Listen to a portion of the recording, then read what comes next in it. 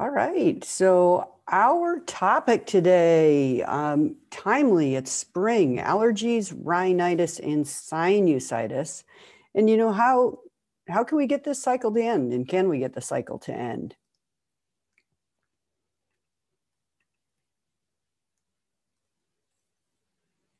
There we go. Objectives.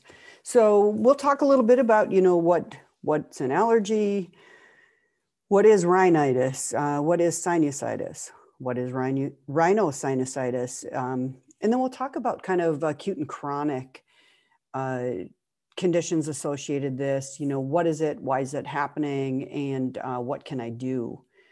And uh, when we talk about allergy, uh, the definition would be a damaging immune response to the body um, by a substance. So often we think of allergens as pollen, uh, dander or fur, particular foods, dust, mold, those sort of things. And uh, there's a few different uh, types of responses that we have. We have an immunoglobulin E response, and those are antibodies triggered by our white blood cells. And uh, you know, we're talking a lot about immunoglobulins uh, these days when we're thinking about infections and vaccines.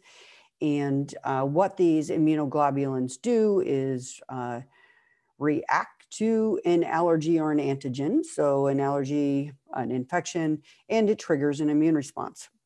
These uh, are type 1 hypersensitivity responses and lots of like different body responses that happen to these, you know, sneezing, itching, rash, runny noses, GI symptoms, all of those uh, sort of things.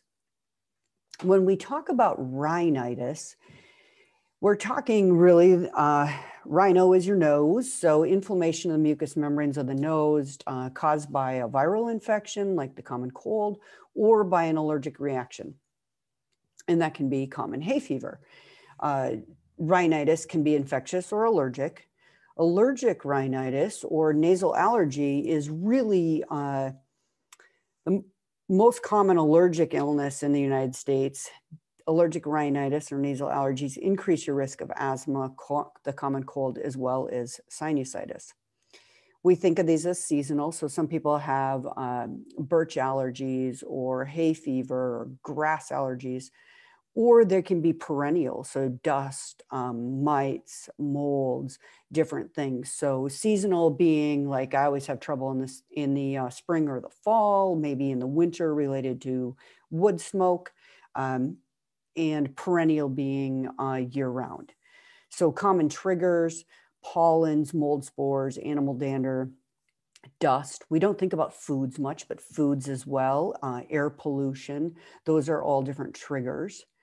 And we talk about sinusitis, now we're talking about inflammation of the nasal sinuses. And uh, the uh, American Academy of uh, Allergy, Asthma, and Immunology has some really good, uh, quick articles about different things. And that's where this uh, picture came from. You can definitely see in your nose, you know, we have our maxillary sinuses that we can see. We've got frontal sinuses, sinuses that are kind of up above uh, our nose and feel like they're behind our eye, our ethmoidal sinuses. So those are all different places where we can get inflammation. And for anyone who's had a sinus infection, you know, they complain of, you know, front head pain or, uh, you know, facial pain or eye pain, different things. So the reason being that inflammation uh, and maybe there's some blockage in these areas that it's you know, we get pain related to where these sinuses are. These can be allergy mediated or infection mediated. And, uh, you know, and that's when we talk a little bit about, you know, an infectious sinusitis. It's always challenging, you know, when we, um, we'll see people uh, have, oh, I get a sinus infection every fall, which triggers to me, or every spring, it triggers to me that, wow, there's probably an allergy happening that ends up running its course. Now we have some blockage, and then we end up with blockage, then develop an infection. And so, you know, a lot of times I'm thinking uh, upstream, if you will, as to like, well, wow, if it's happening every fall or every spring, you know, it makes me wonder what else is going on. So, So when we talk about allergic versus infectious, when we uh, really common to have some sinus pain when you have a common cold, an acute sinus infection. You know, it's when we we get into more chronic things if things are lasting a week if you have fever and facial pain and fatigue and some of those things that's when we start thinking do we need to treat this with an antibiotic? Um, and and you know there's pluses and minuses to all those things. And certainly if you do have a bacterial infection we want to treat those um, with an appropriate antibiotic but if we are not in that uh, bacterial sinusitis phase then we start to think about uh, what other things can we be doing? And we'll talk about some of those things. When we talk about rhinosinusitis, think about that's the combination of the nasal stuff as well as the sinus inflammation. And so that's when these sinuses and some of our these passages can get blocked, mucus can build up. Um, and those people that have chronic allergic rhinitis or asthma, that can also be associated with chronic sinusitis. And we think about rhinosinusitis. Again, we're thinking about is this an allergic process? Is it an infectious process? Is it acute or is it a chronic process? So these are all different things that we need to be thinking about when we're when we're talking about all of these things. And and you know, think about if um, an example of acute, and this might be more of a rhinitis, but um, when you go out and you're you're raking leaves in the spring and you're kicking up dust and mold spores and all that stuff, like you'll end up with a lot of inflammation. You're blowing dirt out of your nose for three days. Um, you know, there's things we can do to mitigate that. Um, you know, saline rinses, those kind of things to kind of clear that stuff back out. But those things if they're led to accumulate, you say you have uh, a polyp and now you create a really big response to this, um, you know, that's the people that end up more at risk of developing a chronic uh, sinus infection. So leading into chronic rhinosinusitis, so common symptoms, postnasal drip, coughs, headaches, facial pain, sore throat, fatigue, sleep disruption, brain fog, lots of things that people complain about when they have chronic nasal issues. Uh, causes again allergy infection and you know those infections can be bacterial viral fungal. And i think one thing that we often don't think about is fungal and mold relation.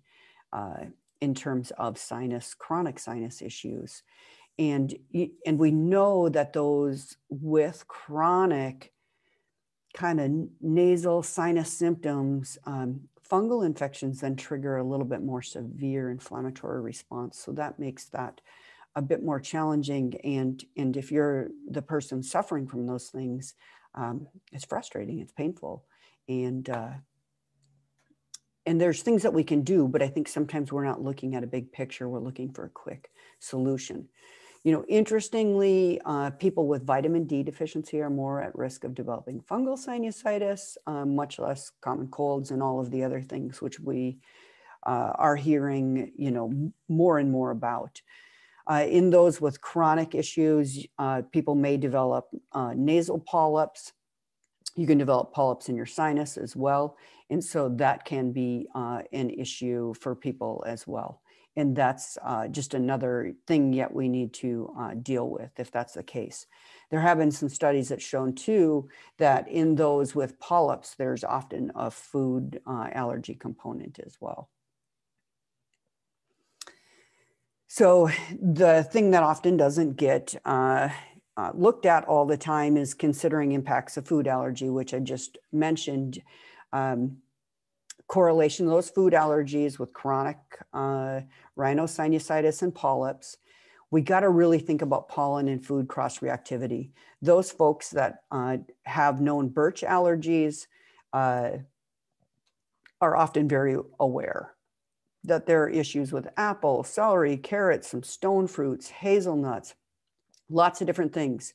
Uh, yeast and mold are obviously go hand in hand and those can be an issue. And so if you have mold issues, you know, certain, certainly eating cheeses and drinking wine and fermented foods and, uh, you know, kombucha, kefir, those sort of things can all be problematic. Those folks with ragweed or gra grass, uh, allergies, there's cross reactivity with citrus, bananas, watermelon, melon, tomatoes, latex.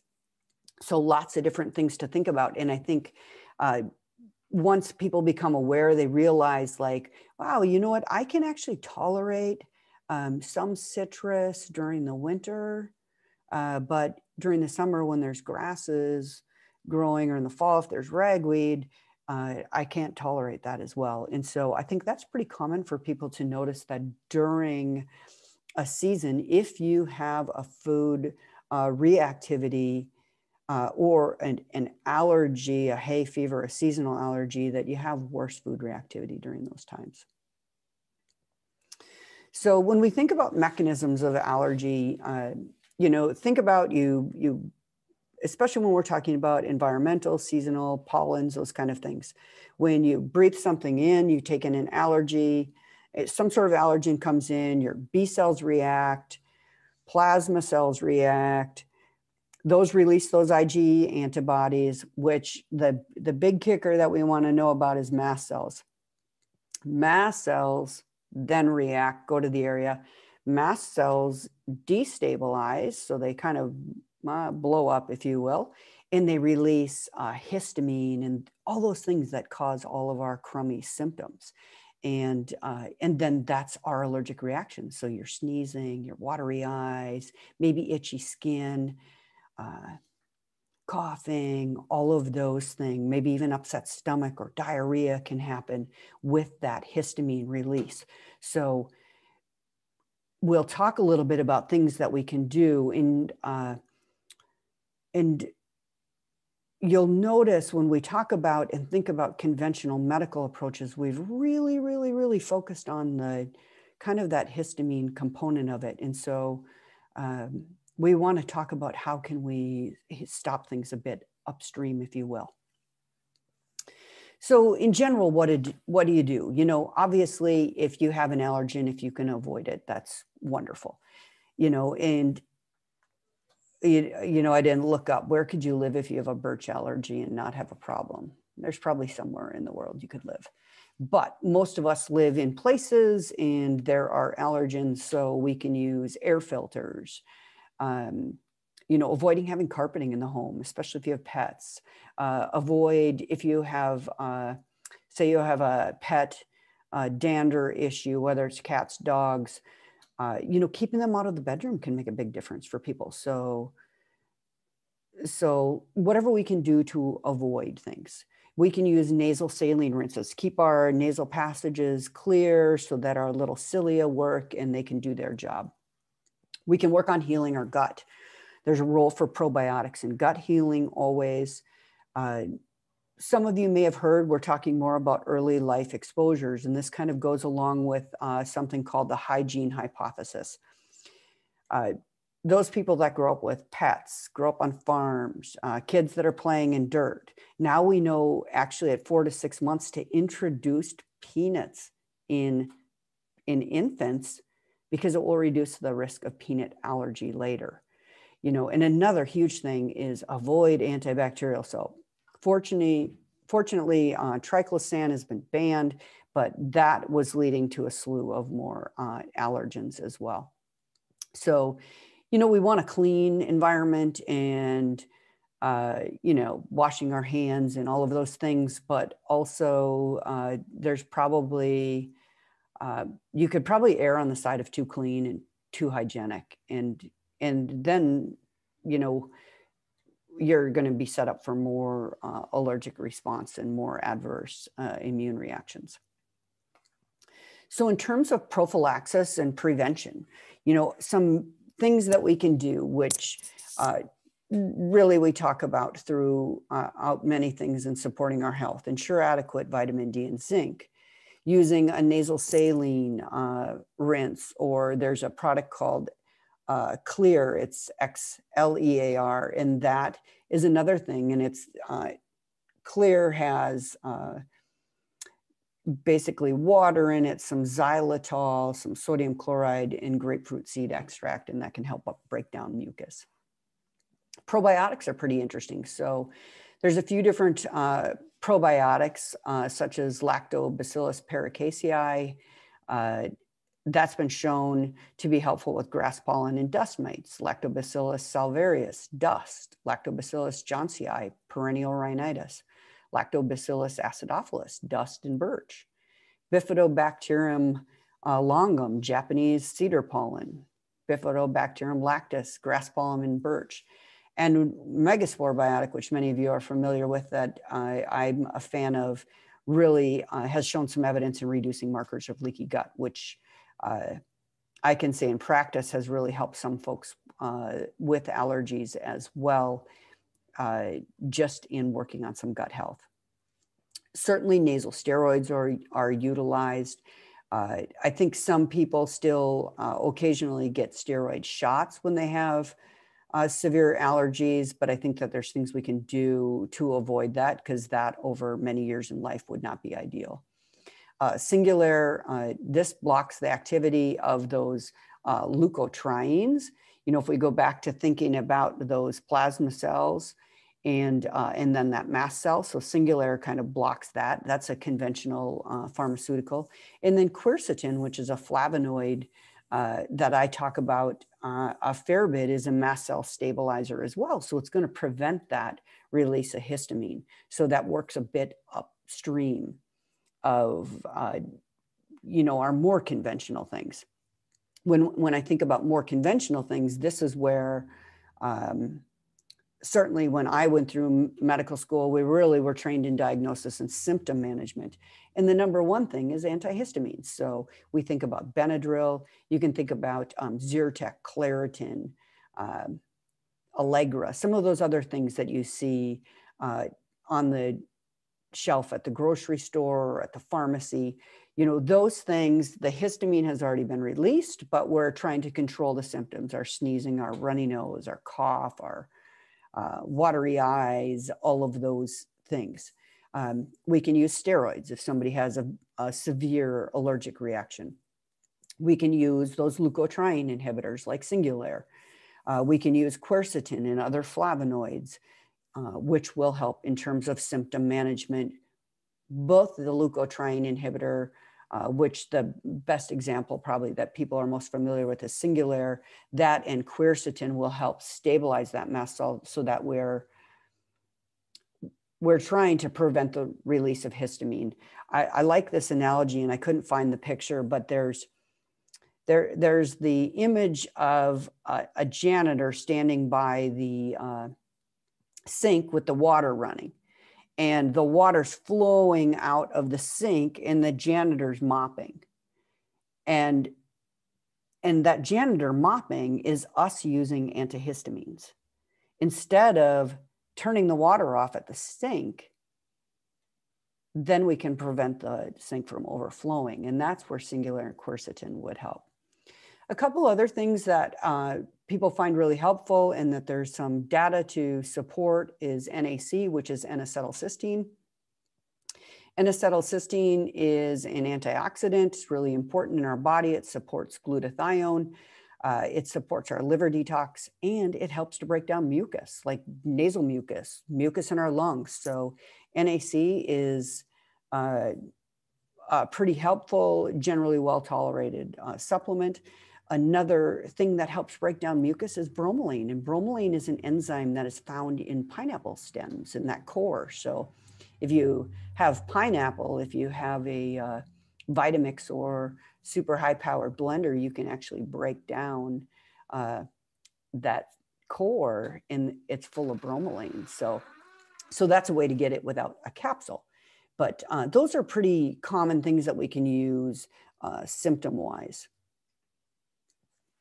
So in summary, uh, we talked about allergies, we talked about rhinitis, we talked about sinusitis, we talked about rhinosinusitis and some of the uh, acute versus chronic issues. Um, think about mechanisms of allergy, what can you do? And, you know, I would also say thinking about foods as well and cross reactivities. So, and again, like just the importance of healing uh, our gut, you know, like, and just general immune support, which uh, is so important.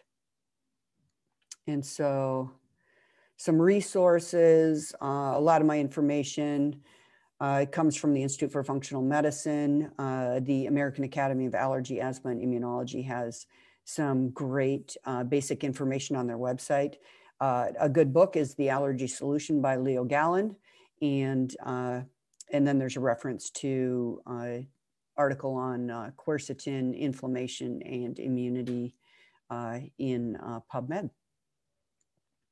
And that's what we got for today. So happy to uh, take any questions.